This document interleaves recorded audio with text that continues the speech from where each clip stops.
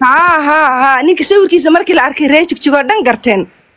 Ninka gabadha uu dilay. Ee asaga asaga marre cabdullah? Asaga cabdalla weeyaan. Cabdalle hooyadiisna waagii hore reer soomaaliya ahayd. Hooyadii xitaa ree isaaq weeyaan. Haa waa ree isaaq hooyadiina. Waa ree caliya iyadana. Asagana waa cabdalle isagana waa cabdalla hooyadiina waa ree isaaqo ree caliya gabadha uu dilana waa ree isaaqo ree haaruuno ree cali geela. Allah bilah tollah waa abtirisa qoftaas adkaatii fogaate walaa gabadhaas waa abtirisa Wallaahi gabadhaas waa abtirisa.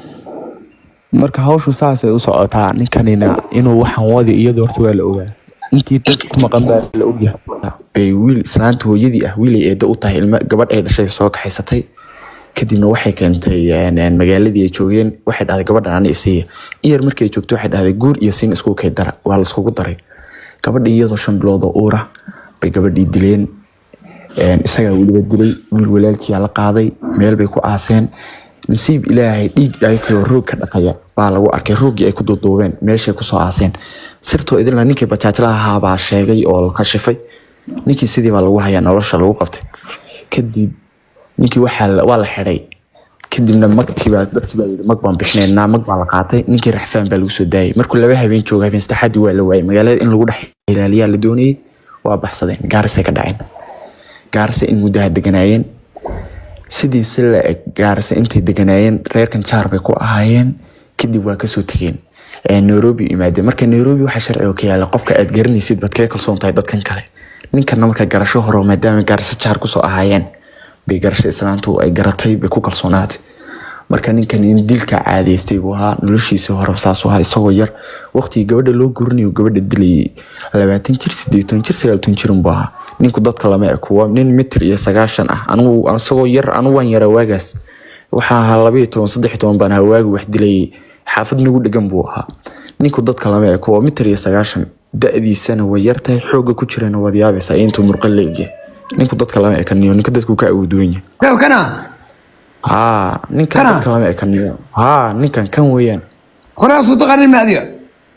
Aniga horaa isku naqaanaa jaar baan heeman kuleeyahay isagoo yar baan garanayaa anigu etoobiya haa qumaadaaga ahayd meeshii wax ku hadda xagee joogtaa walaal. xaafad isku xagee joogtaa hadda. Ani jigjigaa weli joogaa. Daawade waad soo dhegaysatay xogtan yacni way iswaafaqsan tahay.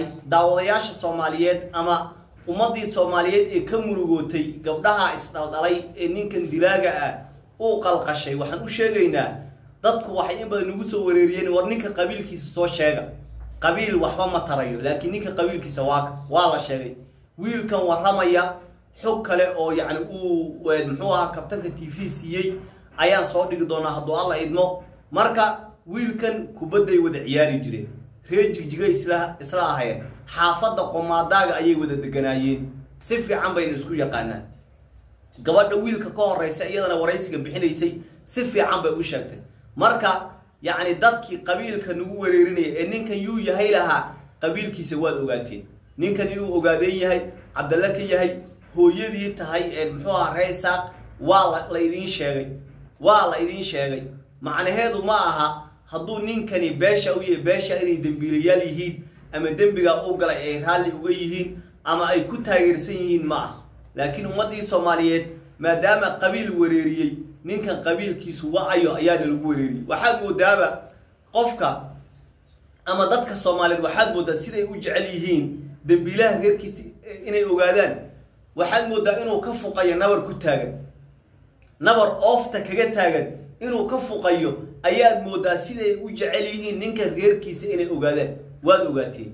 Waad ogaateen arxan darana. Wuxuu yidhi xaaskiisa oo uur shan bilooda u leh intuu dilay ayuu roog ku duuduubay.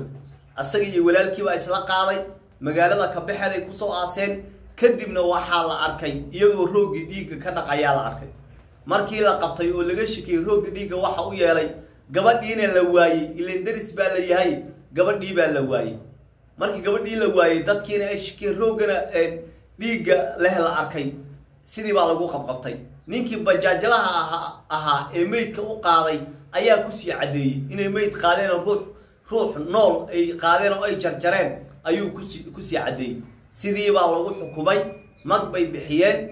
Laba xug baa isgarab ordaysa inay mag bixiyeen oo bannaanka joogeen iyo in cafis ay ku soo baxeen. Laakiin ilama aha nin xaaskiisa dilay oo haddana jarjaray inuu mustafa cagjar cafinayo ilama ah dadka la cafinayo waa dadka dembiyada yaryar galay ama arrimaha siyaasadda u xidhnaa sida o n l f oo kale dadkaasaa la soo daynayo sida ninkan wiilkan uu xogta sheegayo ay kubadda wada ciyaari jireen isku tiimka ay ahayeen sida uu sheegaya ayaa xaqiiqa mag bay tolkii qaateen gabadhaa dhalay gabadhan ehel bay ahaayeen sidii bay bannaan uu ku joogay isaga iyo hooyadii markii dambe kenya u soo goosteen kenya ayay soo aadeen oo u soo dhunteen kenyaan bay sidii ku noqdeen magaalada gaarisa yimaadeen nairobi bay soo galeen magaalada gaarisa marka markay ka yimaadeen maxaa dhacay gaarisa intii ay joogeen gabadhan weris daawuud iyo mahad ninka la yidhaahdo ee haashim la bixi doona ee dilaaga noqon doona dilaagana horay u ahaa ee dilaaga ah daris bay ahaayeen.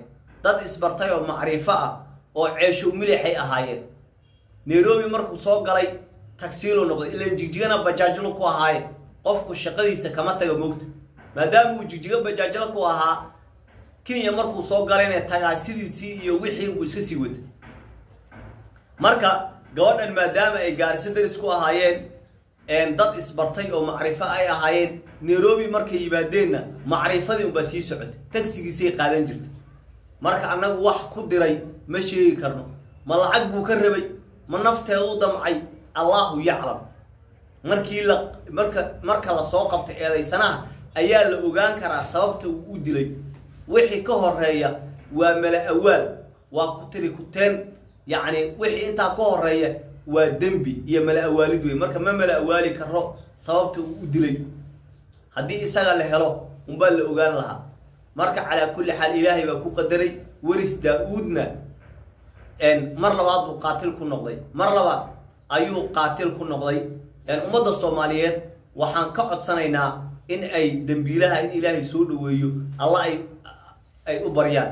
Dadka ehelka ee soomaaliyeed ee gabdhahoodii uu baabi'iyey in ilaahay uu dembiilaha uu soo qabto si cadaaladda loo horkeeno ummad yacni gabarh dambana uusan u dilin niman yahow ayaa yacni reerkaan u soo duceyno reerka ilaahay ha soo dhaweey aamiin soo qoray ilaahw soo dhawe ilaahw soo dhawe ilaahayow yacni meel deg deg ah dembiilaha ama eedaysanaha ka soo saar aamiin soo qora marka haddii qabiil lagu bogsanayo ama muxuu ahaaye qabiilkiisoo la ogaada ay wax tarayso ama ay soo dhaweynayso waa la ogaaday dadkii yaqaanay baa sheegay waa beesha ogaadeen isagu waa caddalle sida ay dadka sheegeen aan sii daynay warramaya ee isaga yaqaanay gabadha uu dilayna gabadha uu dilay talo waa reer saqbay dheheen gabadha uu dilayna kolley waa un soomaalida kelilka degtay waa dad kelilka dega wey ciday tahay soomaali reerkay ka tahay aniga hadda waraysiga sii daayey ma dhegeysan laakiin hooyadiina waa ree isaaq hooyadii waa maxamed suur ree isaaq sida la sheegay. Marka yacni ninkan dambiilaha unbu falka foolxun isagu ku kooban yahay. Falka foolxun isagay gooni u tahay. Reer baan shuqul ku lahayn tolkii baan shuqul ku lahayn ehelkii baan shuqul ku lahayn xataa hooyadii shuqul kuma lahay. Dembigiisa isagay ku kooban tahay.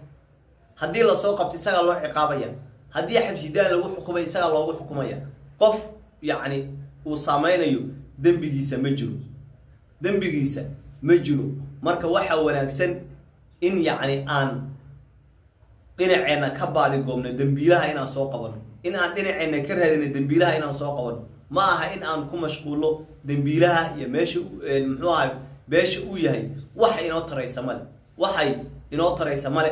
Wararku way iska soo daba dhacayaan. Inta ninkaa laga soo qabanayo sawiradiisa saxana aan ka helayno waan wadaynaa in aan soo qaadana hadba qof yaqaana oo baraha bulshada ka hadlay hadba qof yaqaana oo warbaahinta warbixin siiyey inaan soo qaadana ka daali mayno waana wadaynaa. Wasalaamu calaykum